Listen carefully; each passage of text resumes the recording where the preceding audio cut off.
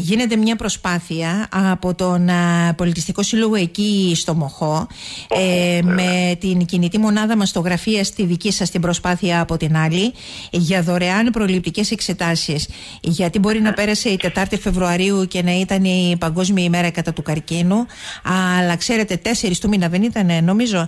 Αλλά ο καρκίνος χτυπάει την πόρτα μας σε καθημερινή βάση και το προλαμβάνει είναι καλύτερο του θεραπεύει νομίζω.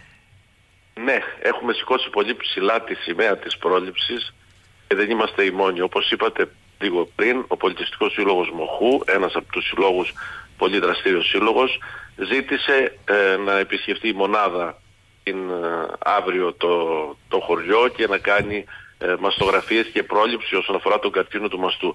Δεν είναι κυρία Δουλγεράκη μόνο οι 4 του Φλεβάρι ή 8 Μάρτη που θυμούνται όλοι τις γυναίκες ή κάποιες μέρες τον Οκτώβρη για να βγάλουμε μια φωτογραφία. Όχι. Είναι κάθε μέρα, όλες τις μέρες του μήνα, όλες τις μέρες του χρόνου πρέπει να έχουμε το μυαλό μας στην πρόληψη και να, να, να κάνουμε αυτό το περίπλου που κάνουμε εμείς τουλάχιστον με την κινητή μονάδα γιατί σήμερα είναι στον Άγιο Βασίλειο Παιδιάδος, εχθές ήταν να πάει στην Καρκαριώτησα αλλά το, δεν μας άφησε ο καιρός, το αναβάλαμε. Και από εβδομάδα, από Δευτέρα θα πάει Χανιά όπου θα μείνει εκεί για ένα διάστημα και θα επιστρέψει πάλι κάνοντας αυτό το, το ιερό έργο για μας.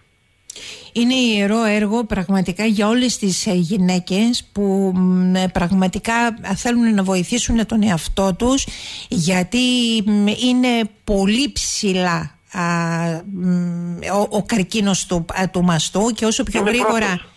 Πρώτος. νόμιζα ότι ήταν ο καρκίνος του πνεύμονα, γι' αυτό το είπα έτσι. Ε, ναι, ναι, του πνεύμονα στους άντρες. Ναι. Εμείς όπως έχουμε ξαναπεί, έχουμε φτιάξει μαζί με την ιατρική σχολή το κέντρο καταγραφής καρκίνου στην Κρήτη όπου γνωρίζουμε ανά πάσα στιγμή ποιες είναι οι τάσεις, σε ποιο καρκίνο, ανάλογα με το φύλλο, την ηλικια ακόμη και την περιοχή. Ο καρκίνος του μαστού λοιπόν έχει αυξητικές τάσεις στην Κρήτη, ακολουθεί όμως τα ευρωπαϊκά στάνταρς, δυστυχώς, έχει αυξητικές τάσεις ε, και είναι ο πρώτος σε περιστατικά στην, ε, στο νησί μας.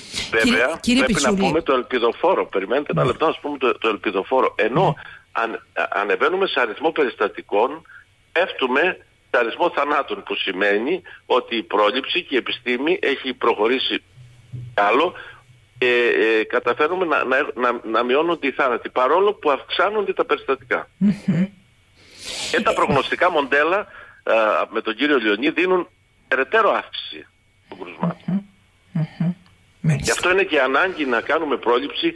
Γι' αυτό και σας ευχαριστώ, θα το κάνω πάντα που δίνετε χώρο και χρόνο ε, μέσα από το ραδιόφωνο και όπου είστε για να, για να επικοινωνούμε αυτό το, το θέμα της πρόληψης γιατί πάνω απ' όλα είναι η υγεία. Το κυρίαρχο είναι ότι είστε άνδρας, κάνετε εσείς αυτή την έκκληση σε όλες εμάς τις ε, γυναίκες ε, διότι ε, είναι δίπλα σας η οικογένεια, τα παιδιά, η κόρη, οι κόρες, η σύζυγος, η μητέρα, οι αδελφές, οι φίλες και νομίζω ότι αυτό είναι το πιο σημαντικό μήνυμα. Ρωτώ, ανταπόκριση έχει στις γυναίκες αυτή η λοιπόν, προσπάθεια; Τεράστια ανταπόκριση έχει. Πιστέψτε με, έχει τεράστια ανταπόκριση ενώ η μονάδα λειτουργεί πολλά χρόνια. Το τελευταίο διάστημα για κάποιο λόγο ε, που δεν μπορώ να ερμηνεύσω αλλά θα, θα, το, θα βρούμε το λόγο υπάρχουν πολλές, πολλά αιτήματα όπως τώρα παράδειγμα από το Πολιτιστικό Σύλλογο του Μοχού να επισκεφτεί η μονάδα την περιοχή τους. Αυτό είναι πολύ πολύ ελπιδοφόρο. Η μονάδα βέβαια είναι η αιχμή του δόρατος.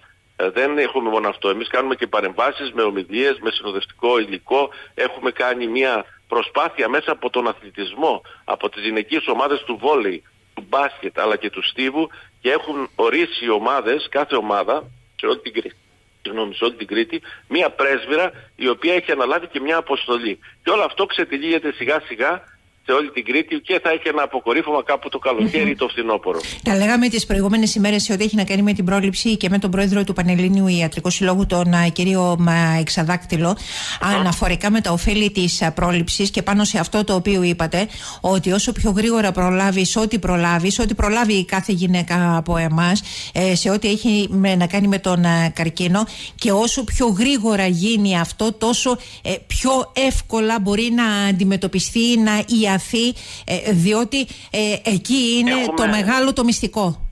Έχουμε και απόλυτη ίαση όταν αυτός, εδώ πρόκειται για δευτερογενής πρόληψη, δηλαδή κάνουμε κάτι νωρίς για να το βρούμε νωρίς, ώστε να το αφαιρέσουμε νωρίς και να ιαθεί 100%. Λέγεται λοιπόν προσυμπτωματικός έλεγχος, γι' αυτό ακριβώς το λόγο.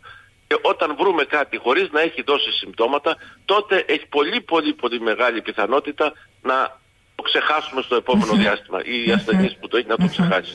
Γι' αυτό είναι σημαντικός ο, προ, ο προσυμπτωματικός έλεγχος, ο προληπτικός έλεγχος. Μάλιστα. Σε ό,τι έχει να κάνει με το μοχό, θα δώσω μόνο μια πληροφορία ακόμα και σας καλημερίζω κύριε Πιτσούλη, ότι όσες κυρίες ενδιαφέρονται ε, για να κάνουν αυτή τη δωρεάν εξέταση θα πρέπει να έχουν κλείσει ένα ραντεβού. Δίνετε ένα τηλέφωνο, το 6946 683 19 κρατήστε το ως πληροφορία για να μπορέσετε να προχωρήσετε στα περαιτέρω. Σας ευχαριστώ πολύ κύριε Πιτσούλη. Καλημέρα σας. Εγώ σας ευχαριστώ κύριε Δουλγεράκη. Καλημέρα, Καλημέρα από τον 984.